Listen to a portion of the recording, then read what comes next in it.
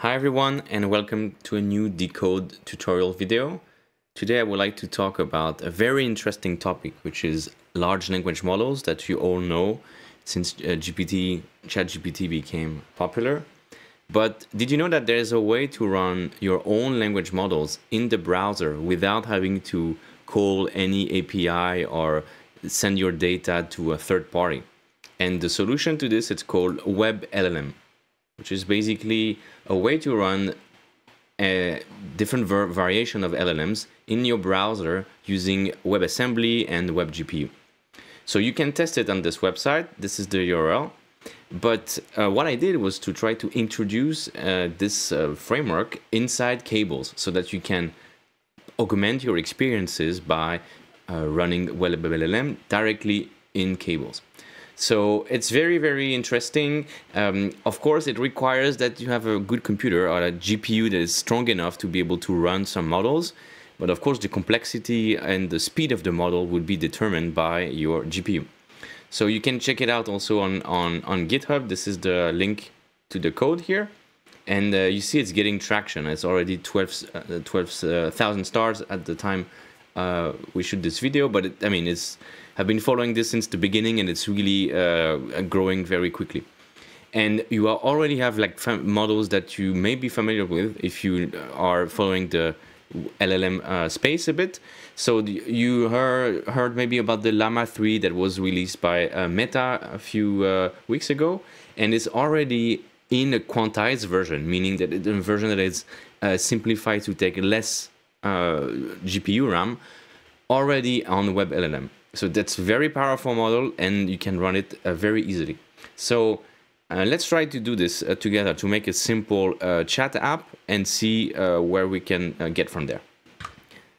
Okay, so now we are in our cables app and as always we're gonna put our main loop to be able to um, run some any visuals and I made the ops for you so you don't have to code anything and as you're gonna see it's very simple. So the first one we're going to use is called import module. It's in the decode open team that you should have joined. Uh, if you don't, please go on Discord or uh, check uh, behind this uh, video. We have the, uh, below this video, we have the link.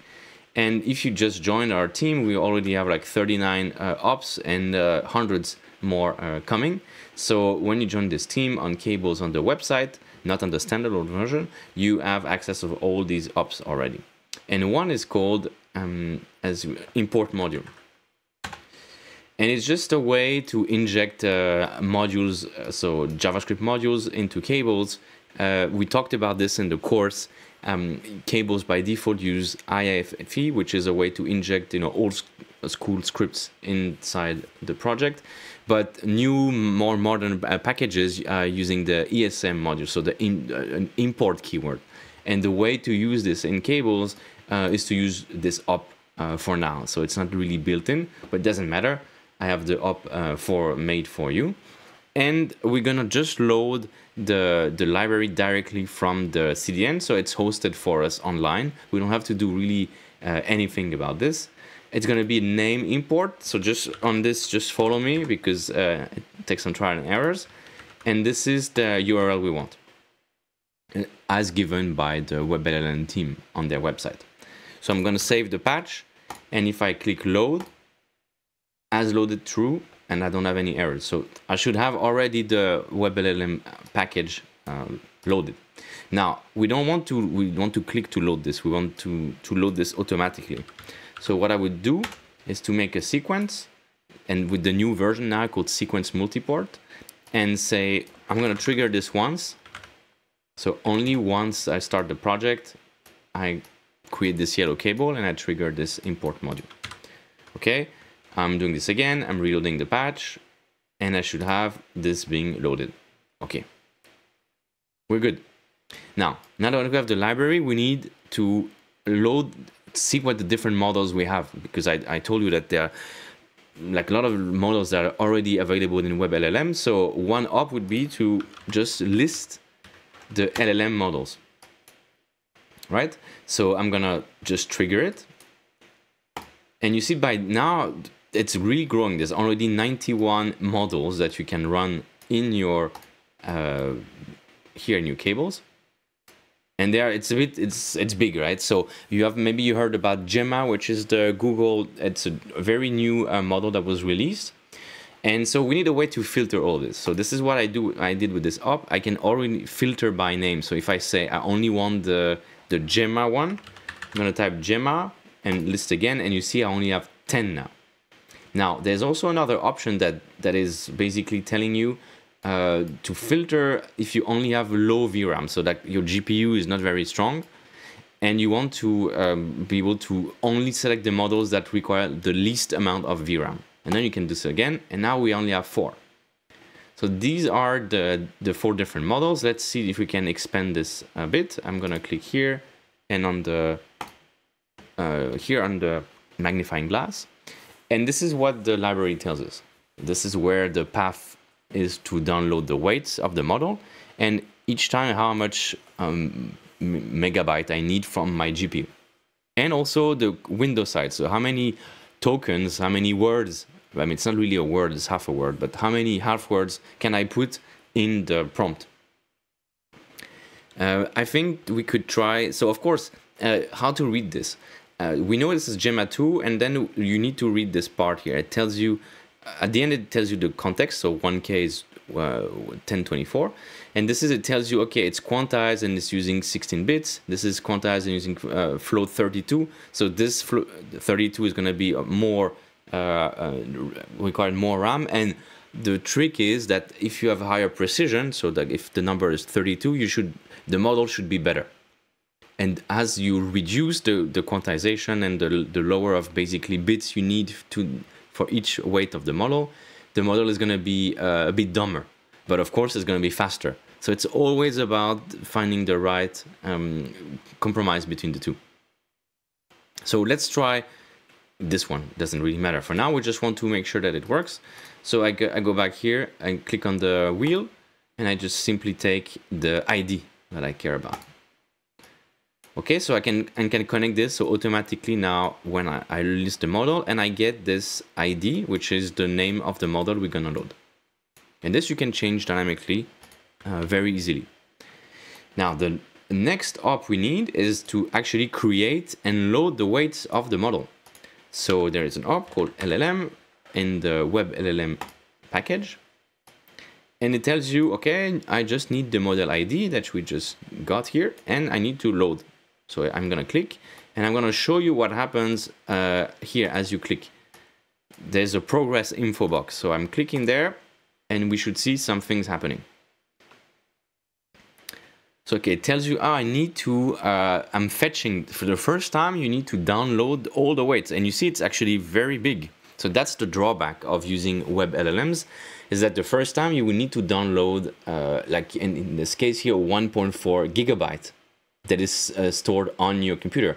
But then, if I now simply save again and connect to the um, LLM, I would just need to reload it in memory. I don't need to download it again.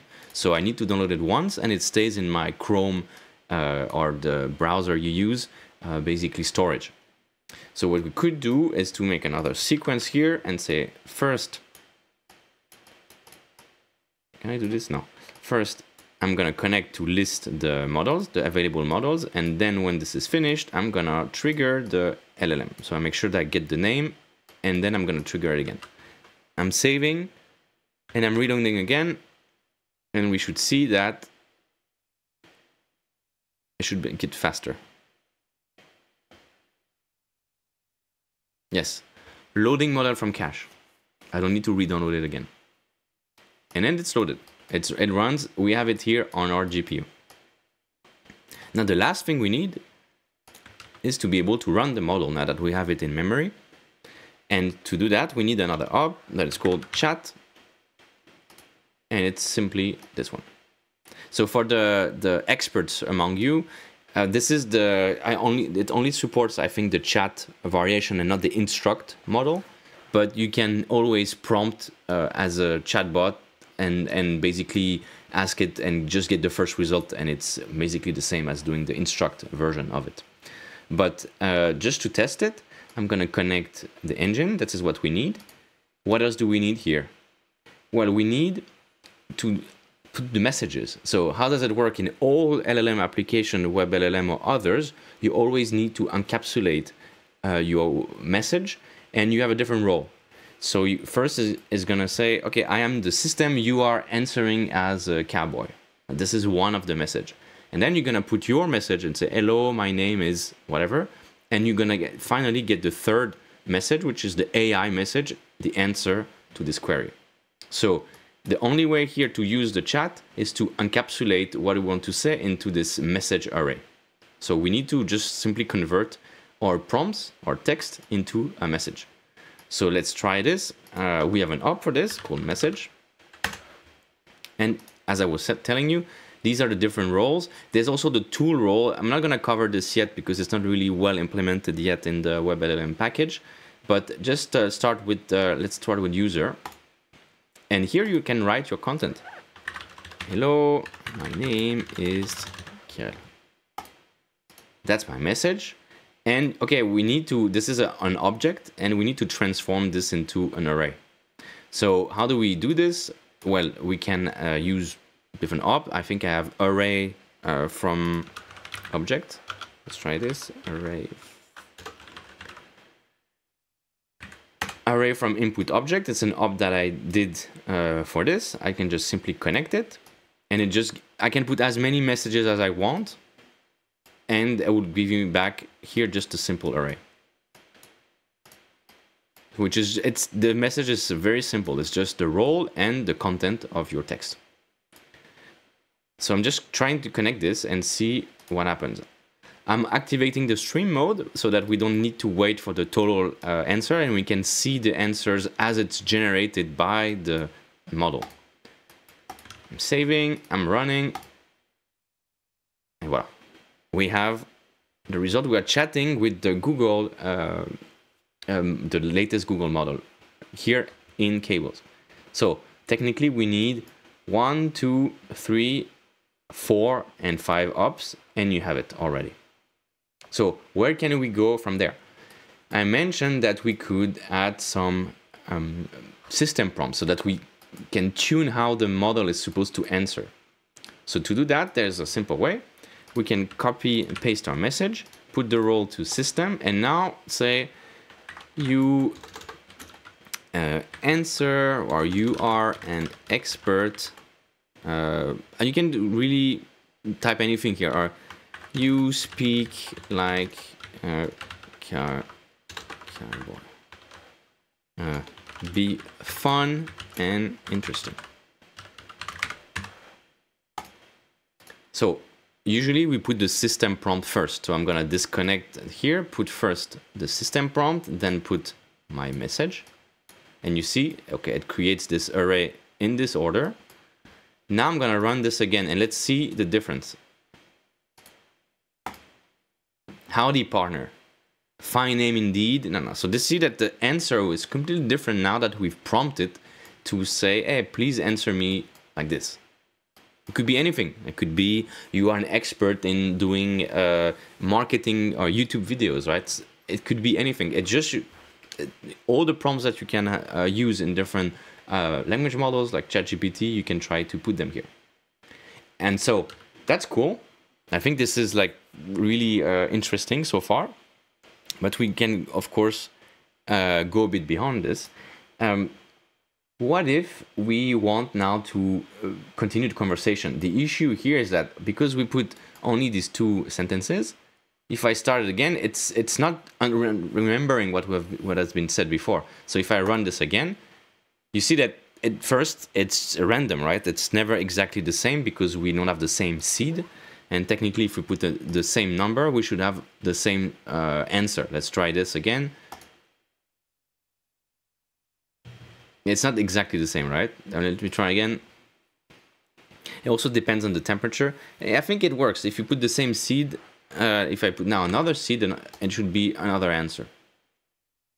It's not exactly, exactly the same, but it's in the same, uh, of course, answering in the same context but it doesn't remember anything. So it's a bit uh, annoying, right? We want to be able to uh, add uh, and remember. So I have this uh, op here, this um, add answer to history.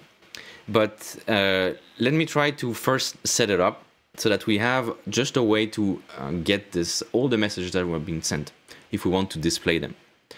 So maybe what we should do is to actually create an interface because it's not very nice uh, for the user. We just have a black screen here. So let's make a sidebar so we can actually chat with our model, make a text input, text input. Okay, we call this uh, prompt. This is an area, so it's big. Okay. Now, what this is what uh, we are typing, and we know that we need to convert this to a message, and it's going to be a user message. Okay. We need to send the thing to our uh, model, so we can put a button and say send when we we chat. Okay.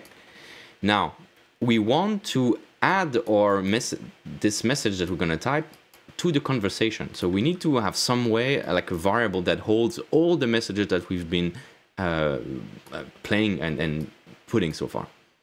So what I would do is I made this op that makes uh, adding to an array easy bullet uh, uh, easy. Sorry, it's called array push object. It's very simple. Takes three things, uh, just like in the initial array. So it could be this initial array, right? The this from the system prompt. So I could just remove my user message, disconnect everything, put this here. Okay, so I have my initial array and then I can push or I can reset uh, the array. And this is where I'm gonna connect my message here. I can put this here and I can even, when I send it, I'm adding the message to this uh, big array and this we're going to call this by making a variable var set array and we're going to call this guy history. So if I test hello and I'm gonna print this next to us hello um, how are you you see that I'm continuously pushing to this memory, okay? So now what we want to do, we can reset it by just uh, uh, click reset and then you need, there's a bug here, you need to re uh, disconnect it and reconnect it if you want to see the uh, array updated. Yeah, this, this should be reset somehow. maybe, yeah, it's a bit weird. Uh, let's see after. And now that we have the history, the only thing we need to do is to connect it to our chat. I'm getting my history and I'm putting this here. Okay. And now it would be nice to be able to actually see the text on screen. So what we could do is simply from our main loop, we're going to put a a simple uh, text mesh to display text on screen. And instead of uh, putting cables, we're gonna simply take the, the response and connect it here. Maybe we need to scale it down because it's a bit too big, scale the line, the line scale and transform it because it's a bit too high on the screen. So I can put it down, uh, play a bit with the I don't know, the line height. Okay, line scale, that's good enough. Okay, and put this up. Maybe it's a bit too small for you guys, so I'm gonna put this a bit bigger. Okay, now the issue is that if the line is too big, it's gonna, you know, break and and not be very easy to read uh, to read. So we can add line breaks. It's an uh, cables op and say we don't want a line that is bigger than, I don't know, 70 characters. So at least it automatically goes uh, back to the, the, the, the, beginning. And you see that the, the, all the emojis are not really well supported by the text mesh. So uh, we can, uh, there's not much we can do here. We can use, instead of using text mesh and 3D, we could use just a simple div. Uh, but I think for the exercise here, it's gonna, it's gonna work fine. We're just gonna ignore and say, don't use emojis. So we can say that right away, change our message. Don't use emojis and we should be fine. So I'm saving, I'm reloading the patch. Let's see how it works now. Automatically starts to load the model. It's quite fast huh, with this model on my GPU memory. And now, of course, I need to connect the chat. Something we forgot is that once we push the thing, we need to trigger the chat. So let's try now. Hello, my friend. And we see we have the data being streamed uh, quite quickly actually. And uh, I've that the emojis that we put are still being there, so it's not really uh, uh accurate. Let's check here the answer. So maybe we need to uh, modify the prompt for this to work correctly. But there is one thing that is uh, missing here is that we are putting our system and user prompt and we get the answer. But if we want the model to remember the conversation, we basically add, need to add the answer here to history so that we can it can remember uh, the thing. So uh, how do we do this? Well, it's simple. Either we take this, wrap it into a message and we push to history, or there's a better way, I would say, uh, because on the chat op, I have add answer to history. But for it to work properly, we need to make sure that the input array is not uh, only the system prompt because then it would be overwritten by the same uh, message and the same system message and our message. But instead, we could what we could do is we could get the history, put it there. So we make sure that we have this history, we push the new message to it, and with this op here, it will push the answer to it also automatically. But of course, if we want to like make this the prompt if we reload the page. Instead of using array from input objects, I mean, we could if you had many messages, but we could simply um, try to use this array push uh, push object. We can take it like this, and by default, if it's there's nothing, it will create an array. So you can connect this there, and so at the beginning we already pushed the system prompt on the array, and we set our history. From there, we can push our new messages and automatically add from this op. So let's save, reload, and see if it works. It's loading the parameters. Takes a bit of time. I make sure here that I've checked add answer to history. So how to test this? I would hello, my name is Kirill. So far, so good. Nice to meet you. Huh? Okay. Now, what's my name?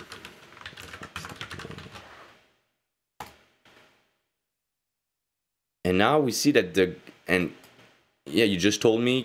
So this is a way I test to make sure that I remember. They could not have a, such a weird name that they could not have invented it out of thin air. So, and we can actually have the proof here when, when we just inspect the history variable that we have a whole conversation. So the good thing with this is that you can, it's just a simple array, right? So you can, if you want, edit the code, inject some things in it.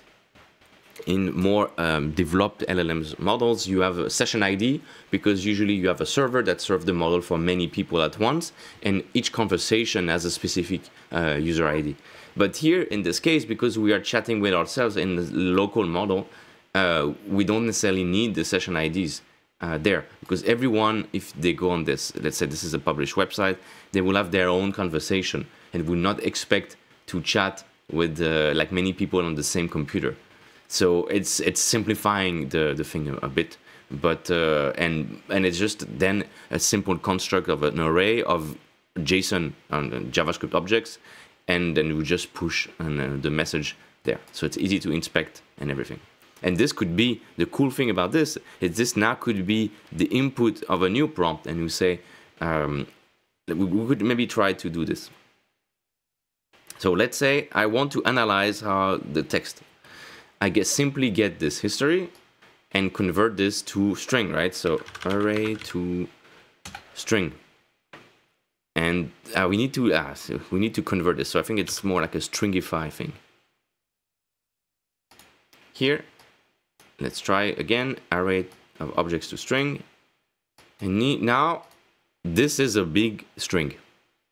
So now this could be the prompt we want for a new chat uh, session, which is not can be done next to this one.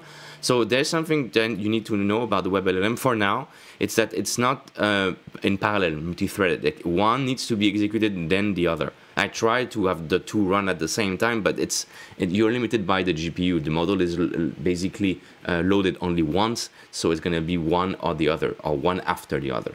But here the model is quite uh, fast. So let's say now I want to analyze the, this history. So this becomes my prompt again, right?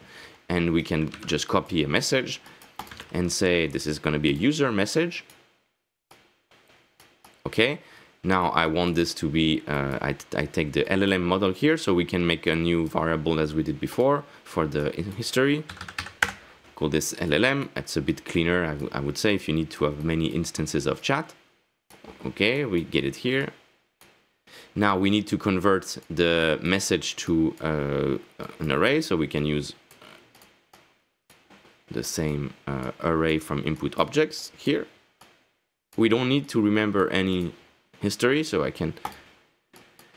And let's see now how smart the thing is. So if I want to concatenate things, this is there's no instruction here. This is just a string. So what I would need to do is to add here in between an instruction to, to say to the message, to the model, maybe analyze the content of this conversation and tell us uh, something.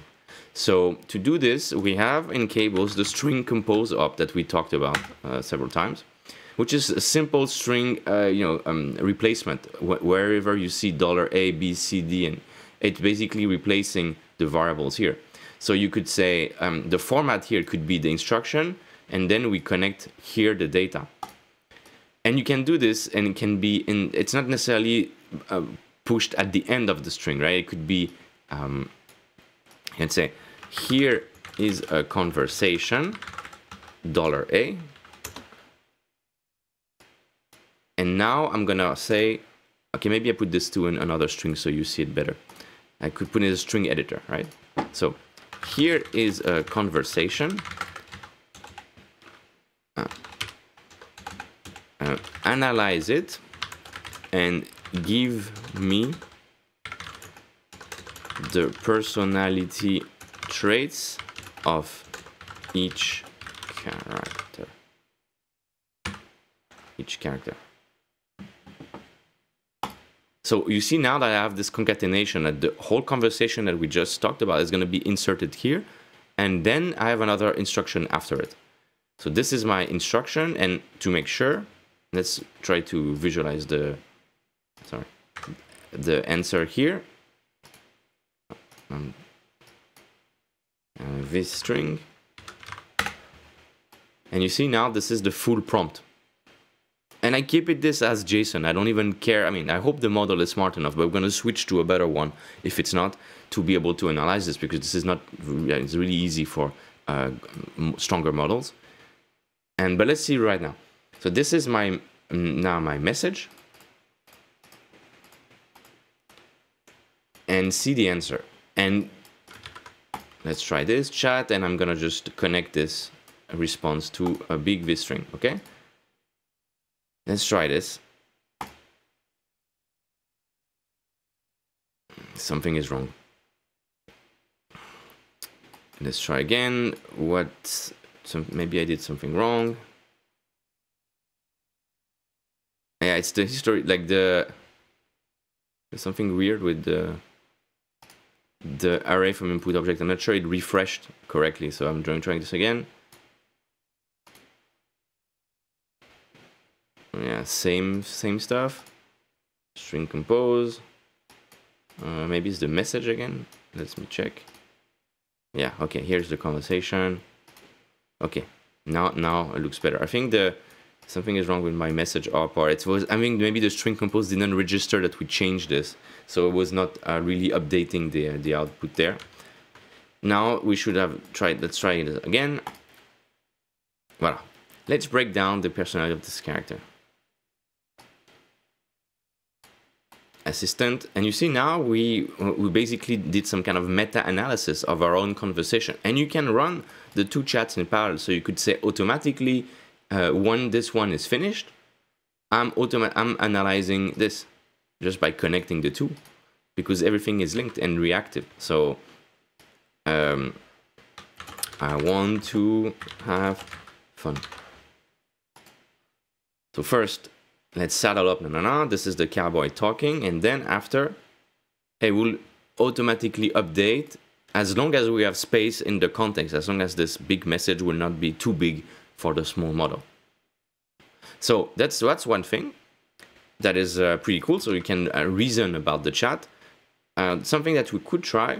I don't know with this model. I didn't try because it's really uh, the, like low. I mean, low number of parameters, so it's not very very smart. But we could try to modify our prompt and say um, each character as a valid JSON object. If you want to train the model, you need to be to. Um, if you want to talk to a model properly, you need to really uh, learn how to prompt them, and it's really trial and error. But um, here I'm, I'm asking, uh, give me this as a valid JSON object, but we don't know how strong the model is and, and if it can directly output valid JSON. So what you can do is have a few shot prompt, or you give an example um, that would that would work. Uh, so or like you're basically feeding the output, something like this. Like I'm really helping the model and say, okay, I'm expecting something like this. Um, uh, character character one, and then I'm saying uh, this is what I expect for the output, right? So uh, traits uh, here, and then I'm gonna put this as a list.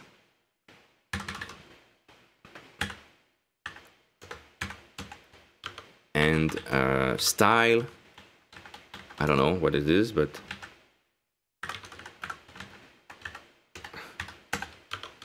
and uh, I don't know um, best quote.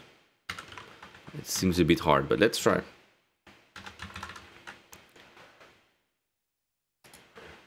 So we, are expecting this as a list right? So it's going to be here a list directly actually. Uh, is it correct what I'm, I'm doing no it's not.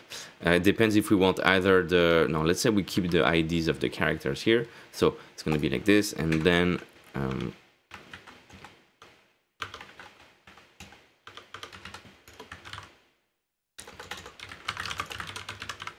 another character so I'm, I'm basically trying to give this the the instructions. Of course, when you do this with the better models, you have also they have some frameworks that they help you uh, specify and create this kind of styles automatically and, and generate the examples for you. I'm just like trying to do it on the fly with you guys. This is not rehearsed.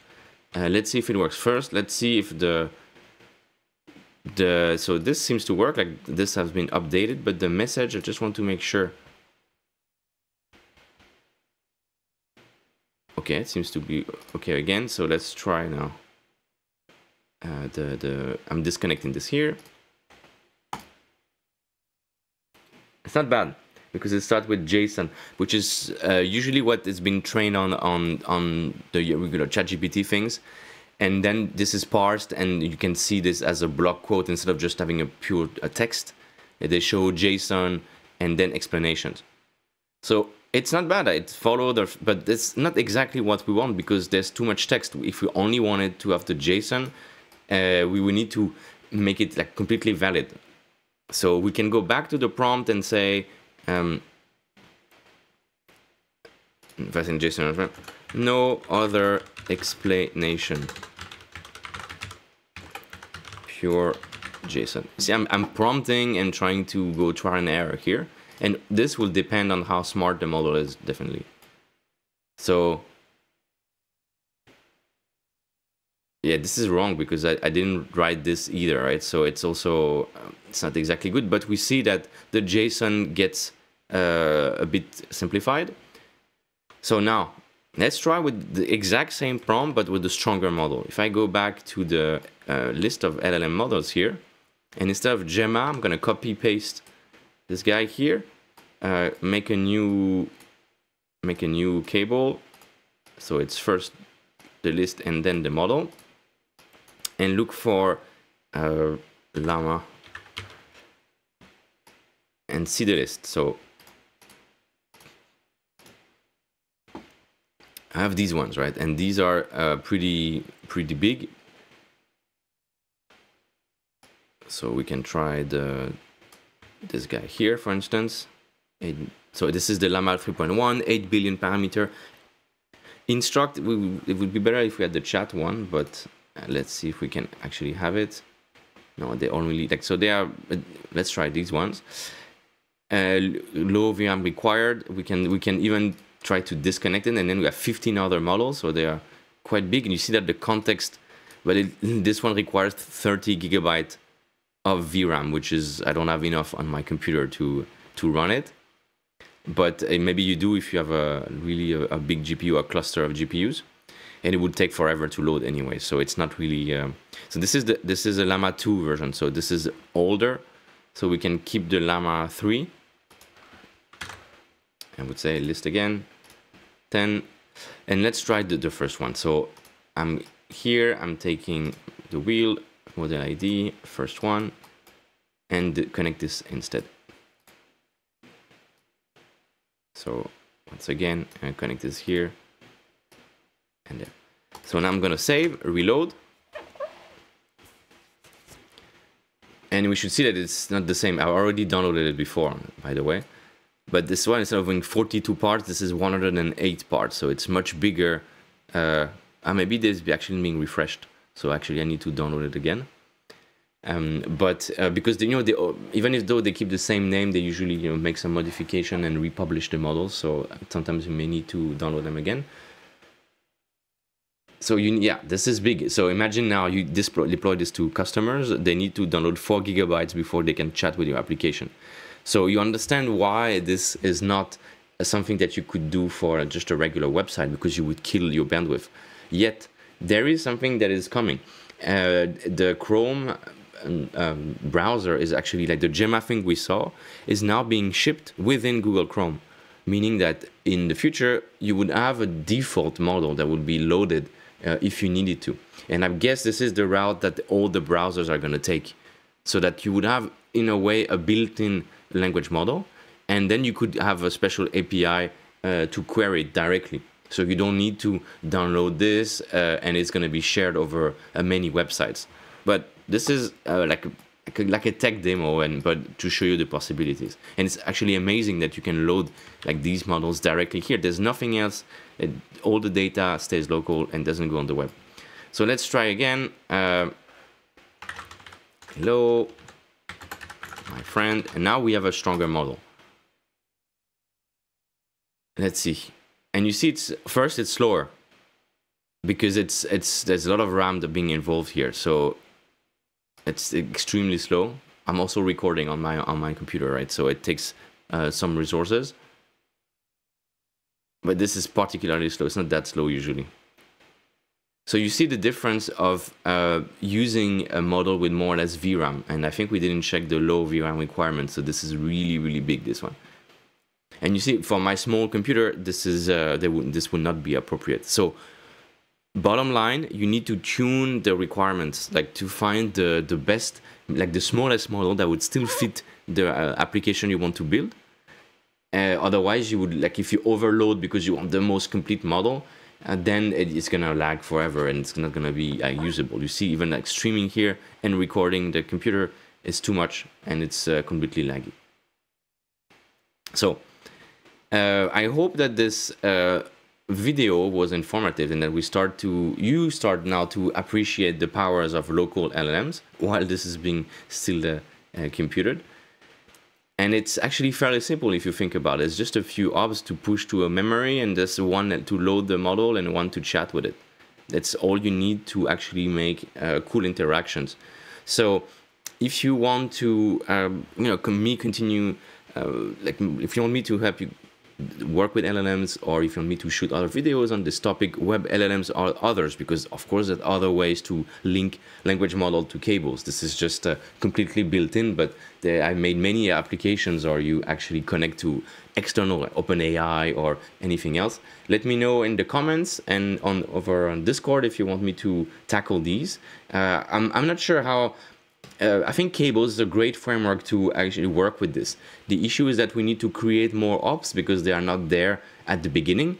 But if you think about it, with the standalone version now, you could replace most of the frameworks that you uh, maybe heard about with LLMs, such as uh, Flowise or LangFlow. They are uh, also node-based visual programming frameworks to uh, to uh, interact with LLMs, but they, they don't have the same flexibility as you has uh, as you have with Cables because Cables is a lower level, and Cables has all the WebGL stuff that you don't have in other uh, framework. So if you want to create this kind of amazing experiences or you chat with the model, it answer, analyzes what you think and do something on the screen, this uh, I think would be a good solution. If you just want to run a, like a chain, an agent that is doing something offline or online, but it doesn't have to do anything with um, anything graphically, maybe it's better to use the existing tool because they are the community is just bigger and so more supported.